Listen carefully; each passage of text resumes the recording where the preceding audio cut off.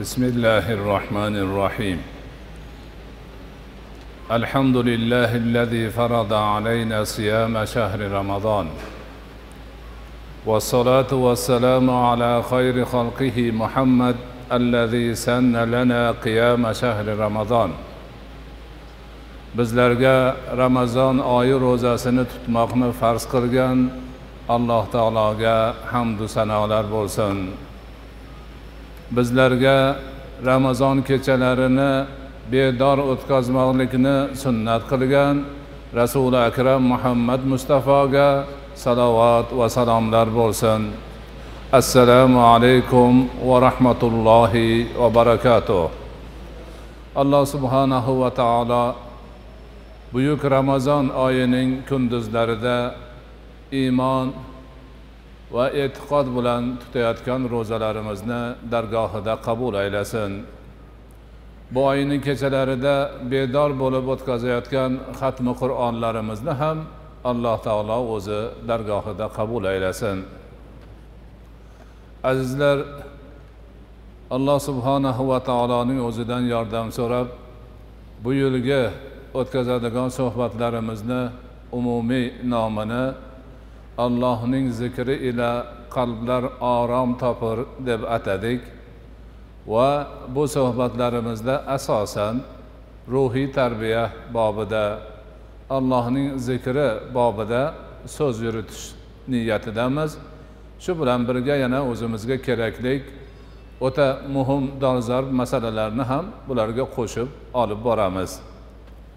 Kechagi suhbatimizda farz vojib sunnat ibodatlarni puxta pishiq ado etib bo'lgandan keyin yana yuqori martabalarga chiqish ibodatlarni sifatini yuksaltirish allohga yana ham yaqinroq bo'lish niyatida nafl ibodatlarni ko'paytirish maqsadida mashoyihlarga shogird tushib murid bo'ladigan kishilarga dastlab mashoyihlarimiz istig'for aytishni topshirishlarini eslatdik. Istig'forni tinmay ko'p aytsa insonni qalbidagi dog'lari ketib kirlari yuvilib qalblar poklanishi va keyin barcha zikrlar oson o'rnashishi haqidagi ulamolarimizni gaplarini yetkazdik. Albatta astag'firullohni iymon bilan e'tiqod bilan juda ko'p takrorlashni fazilati bu bilan cheklanib qolmaydi. balki astag'firulloh juda ixlos bilan aytilsa juda ko'p narsalarga sabab bo'ladi xayr barakaga olib boradi alloh subhanahu va taolo qur'oni karimda o'zining buyuk payg'ambarlaridan bo'lmish nuh alayhissalomning tillaridan aytadiki auzu billahi minash shaytonir rojim bismillahir rohmanir rohim قل تستغفروا ربكم إنه كان غفارا يرسل السماء عليكم مدرارا ويمددكم بأموال وبنين ويجعل لكم جنات ويجعل لكم أنهارا nuh alayhissalom aytyaptilarki man qavmimga borib aytdimki sizlar robbingizga istig'for ayting u zot g'affordir Ya'ni istig'for aytganlarini gunohlarini o'ta kechuvchidir. G'ofir bo'lsa kechuvchi bo'ladi. G'affor bo'lsa o'ta kechuvchi. Juda ko'p kechuvchi bo'ladi. Undan keyin sizlarga osmondan baraka yomg'irlarini yog'dirur. Mol bola chaqa bilan madad berur. Sizlarga bog'u rog'larni berur. Anhorlarni berur deyaptilar. Kitoblarimizda rivoyat qilindilarki bir gapda hazrati umarni oldiga kelib bir qavm shikoyat qilibdi.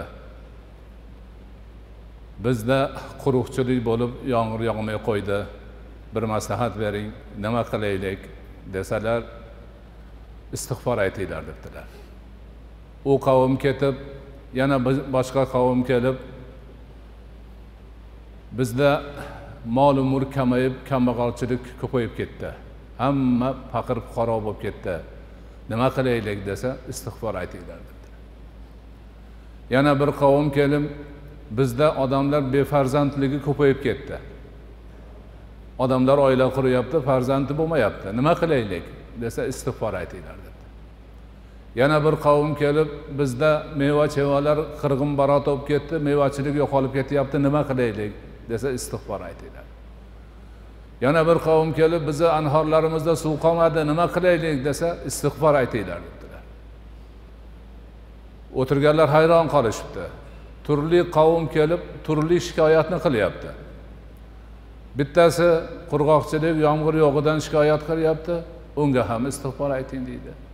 Bittasi kambag'alchilikdan moli puli yo'qlikdan shikoyat qilyapti unga ham istig'for ayting deydi. Yana bir qavm kelib befarzandlikdan shikoyat qilyapti. Unga ham istig'for ayting deydi. Yana bir qavm kelib meva chevalarni yo'q bo'lib ketganidan shikoyat qilyapti. Uni tuzatish uchun nima qilaylik desa istig'for ayting deyapti. Yana bir qavm kelib anhorlarda suv qolmaganini shikoyatini qilsa ularga ham istig'for ayting deyapti. Shuni hazrati umarga aytishdi. Ey mo'minlarning amiri sizning huzuringizga turli qavmlar kelib turli shikoyatlarni qildilar. Siz faqat istig'for ayting dedingiz xolos. Buni qandoq tushunamiz desa haligi yuqoridagi oyatni o'qiganlar. Olloh qur'onda shunaqa deb qo'yibdi. Istig'for aytinglar olloh sizlarga osmonni baraka yomg'iri qilib yog'diradi. Sizlarga mol bilan bola chaqa bilan madad beradi. Sizlarga meva chevalarni serob qilib qo'yadi. Anhorlaringizni suvga to'ldirib qo'yadi. Demak siz bilan biz o'sha mashoyihlarimizni tavsiyalariga binoan sidqi dildan doim istig'for aytib yursak mana shu oyatni va'dasiga binoan haligi narsalarni hammasini elimizga yurtimizga alloh taolo serob qilib qo'yar ekan. Ana bu rizq so'rash farzand so'rash tinchlik omonlik obodonlik xayr baraka so'rashni eng oson yo'li ekan. Astag'firulloh astag'firulloh astag'firulloh deb yurish. Endi bundan ham yuqori nuqta. Uncha muncha odam hayoliga kelmaydigan bir nuqta. Istig'forni gunohi bor yoki hojati bor odam aytadimi boshqalar aytmaydimi? Ana savol. Gunohi bor istig'for aytsa mag'firat so'rasa gunohi yuvilar ekan. Hojatmand hojatini so'rab niyat qilib istig'for aytsa hojati chiqar ekan. Alloh bir odamni itoatda qilib qo'yibdi. Yaxshi yuribdi. Hamma yog'i serob. Istig'for aytmaydimi? Yo'q aytadi. Aytadi. Mana hozir domlamiz farz namozini o'qib salom berishi bilan astag'firulloh. Astag'firulloh. Astag'firulloh dedilar. To'g'rimi? Odatda biz o'rganganmiz gunoh ish qilib qo'ysa astag'firulloh deydi. Lekin bu kishi savob ish qildi. Farz namozni shuncha qavmga imom bo'lib o'qidilar. Allohga eng yaqin merojda turdilar. Boshini sajdaga qo'yib ollohning eng yaqin bandasi bo'lib turib farzini ado etib turib shuncha qavmga imom bo'lib turib boshini ko'tarib salom berishi bilan uch marta astag'firulloh astag'firulloh astag'firulloh deyapti. Nimaga? Ana o'sha ollohga yaqin bo'lganda ham aytiladi. Ollohni aytganini qilib ollohga yaqin bo'ladigan amalga muyassar bo'lganda insonni ko'ngli bo'shashib qolishi bor. Bajarib qo'ydimu degan holatga o'tib qolishi bor. Shundan saqlanish uchun astag'firulloh deydi. Ko'rdingizmi? Eng yaqin ollohga eng yaqin holatda bo'lib turib ham yana istig'for aytiladi. Chunki har qancha qilsak ollohni oldida bizni qilganimiz oz. Qilib qo'ydiku deyishga haqqimiz yo'q. Nuqsoni bo'lgan bo'lsa kechirgin astag'firulloh. Ko'nglimga bir narsa kelgan bo'lsin kechirgin astag'firulloh. Yana bundan ko'ra yaxshiroq bo'lishiga o'zing sazovor qilgin astag'firulloh. Shuning uchun mana namozdan keyin doim rasuli akram alayhissalotu vassalom o'zlari astag'firullohni aytganlar shu sunnat bo'lib qolgan. Biz jamoat bilan o'qisak ham yolg'iz o'qisak ham salom berish bilan qaysi namozni o'qisak albatta astag'firullohni uch marta aytamiz. Yana yuqori pog'ona yuqori pog'ona shuki allohning eng mahbub bandasi rasuli akram muhammad mustafa sollallohu alayhi vasallam. Alloh taolo qur'oni karimda u kishini avvalgiyu oxirgi gunohlari kechirilganligi maqomi mahmudga sazovorliklari hammasini aytib qo'ygan. Lekin u zot nima deydilar? Nima deydilar sizni allohga istig'for aytinglar. Man har kuni yuz marta allohga istig'for aytaman deydilar. Bitta begunoh odam bo'lsa zot bo'lsa payg'ambar alayhissalotu vassalom ma'sum. Lekin shu zot ham kamida har kuni niyat bilan yuz marta istig'forni aytar ekanlar. Mana mana shu haqiqatlarni biz yaxshi bilishimiz kerak. Yaxshi o'zlashtirishimiz kerak. Ana bekorchi gaplardan g'iyvatdan chaqimchilikdan behuda har xil besavob narsalardan ko'ra tilimiz dilimiz vujudimiz istig'for bilan mashg'ul bo'lsa qancha savob qancha xayr qancha baraka qancha yuksaklik qalb pokligi allohga yaqinlik. Mana mana shu narsalar hammasi bizni yodimizda turishi kerak. Albatta bularni bizga ustozlarimiz o'rgatgan. Bizda ustoz tutish ustozni payg'ambar alayhissalotu vassalomni merosxo'ri deb bilish musulmon ummatini siymosidir. Agar ustoz bo'lmas kerak bo'lmasa payg'ambar yubormasdi alloh taolo.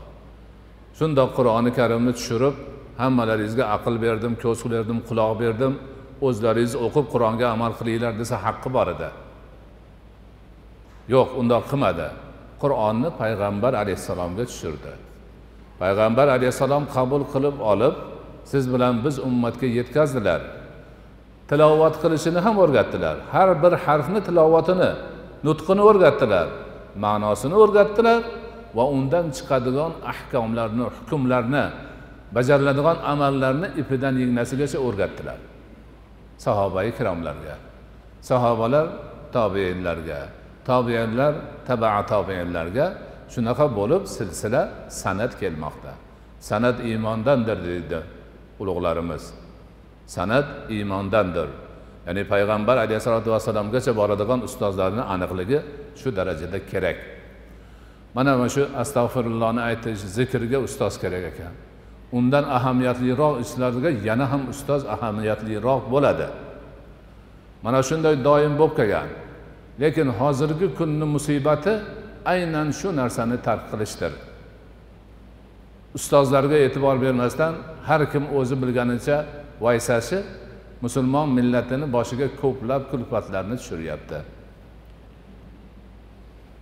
Har kim o'zicha nimani xohlasa shuni aytadi odamlarni boshini aylantiradi turli bo'lmag'ir narsalarga chorlaydi oqibatda o'ziga ham o'zgalarga ham musulmon millatini boshiga ham ko'plab ofatlar balolar kelib yetishiga sabab bo'lishadi. Hozirgi kundagi noqulayliklarni hammasi shundan chiqyapti. Urush janjallar musulmonlarni qoni aybsiz ravishda behuda to'kilishi moli mulklari vayron bo'lib xarobga aylanishlari davlatlar butun boshli davlatlar xarobaga aylanishi kabi holatlar aynan shunaqa ishlardan kelib chiqyapti. Agar shar'iy ilmni yaxshi o'zlashtirgan payg'ambar alayhissalotu vassalomni haqiqiy merosxo'ri bo'lgan ulamolarga quloq osilganida o'shalardan maslahat olib ish qilinganida bular bo'lmas edi. O'zicha bilganini javrayveradigan bo'lgan bo'lmagan tagini tayini yo'q ustozini tayini yo'q odamlarni gapiga kirib kishilarimizni boshi aylanib hozir musibatlar ko'paydi. Har qadamda har qadamda shu. Birov telefon qilib man falon davlatdaman maza qilib yuribman savobli ish bor o'qib yuboramiz o'qib yuboramiz tezda yetib kel desa odamlar ketyapti yugurib. Nima bor u yerda? Nima qiladi? Foydami zararmi? Qanaqa? U gap yo'q. Haligi chaqirayotgan odamni ham tayini yo'q. Ketishyapti.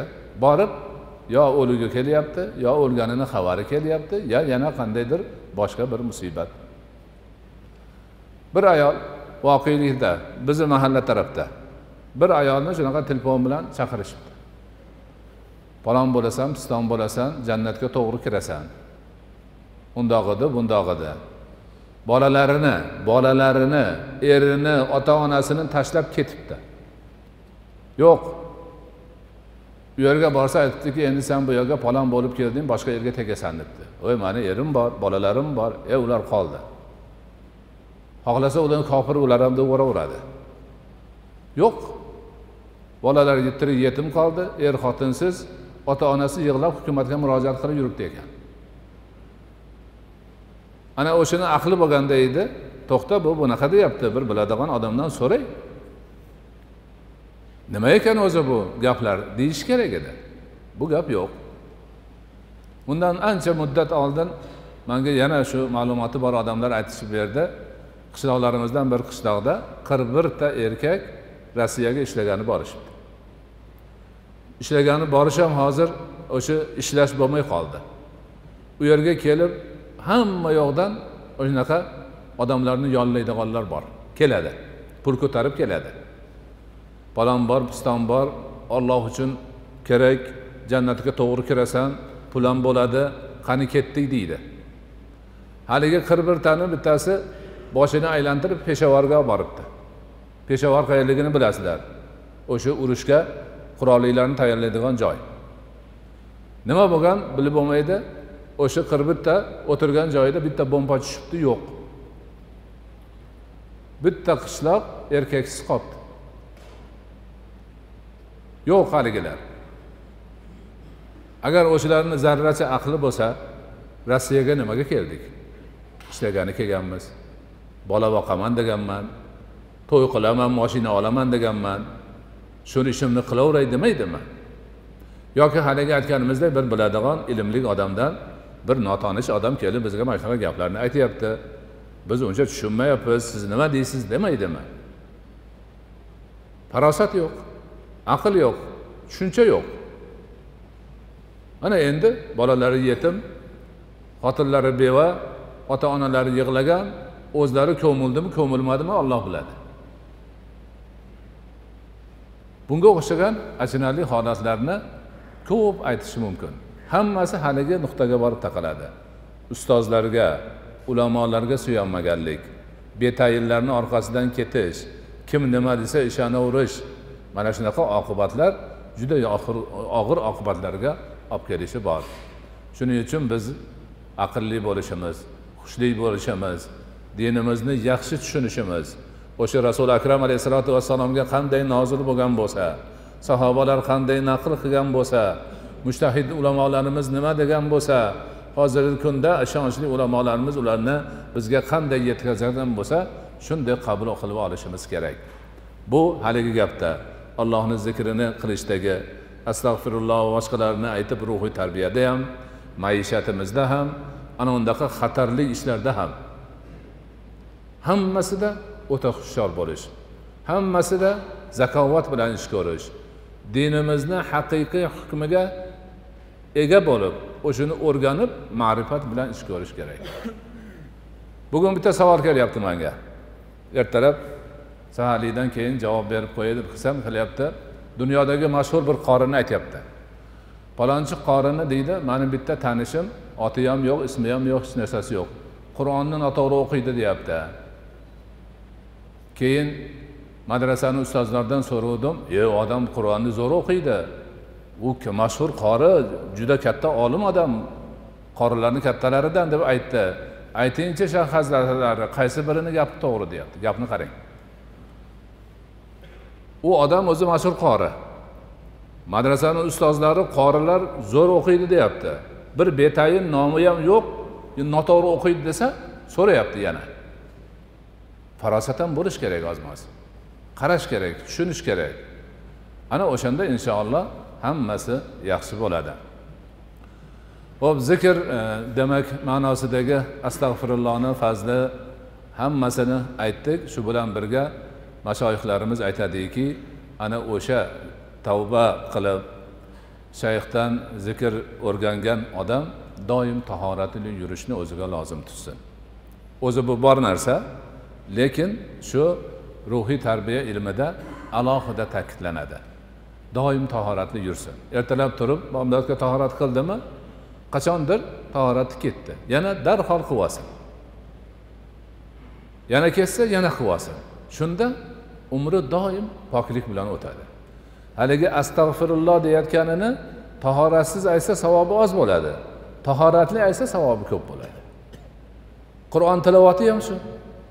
Boshqa zikrlar ham shu. Boshqa ishlar ham shu. Tahoratli yurishni o'zi ham savob shuning uchun ko'pchilik buni bilib qilib yuradi lekin hozir eshitayotganlarga aytamizki kelinglar bugundan hozirdan boshlab mana shuni o'zimizga vazifa qilib olaylik.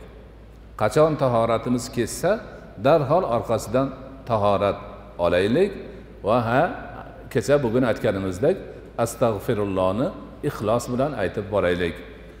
Alloh o'zing bu suhbatlarimizni xayrli barakotli qilgin dinimiz diyonatimiz uchun o'zimiz oilamiz uchun elimiz yurtimiz uchun mo'min musulmonlar uchun manfaatli bo'lishini nasib etgin. Oxiratda tarozi bosadigan amallarimizni solihlariga qo'shilib bizga manfaat beradigan amallardan bo'lishini nasib etgin. Bu buyuk ramazon oyidagi ibodatlarimiz suhbatlarimizni bardavom bo'lishi barakotli bo'lishi o'zimizga yuqishi elimiz yurtimizga yuqishini o'zing nasib qilgin. Tushunmovchilik bilan yurgan azizlarimizga ham parvardigori o'zing rushdi hidoyat bergin. Qalblariga to'g'rilikni solgin xatolarini to'g'rilashni nasib qilgin. Va sallallohu taala ala xayri xalqihi muhammad va ala alihi va ashabihi ajmain. Bi rahmatika ya arhamar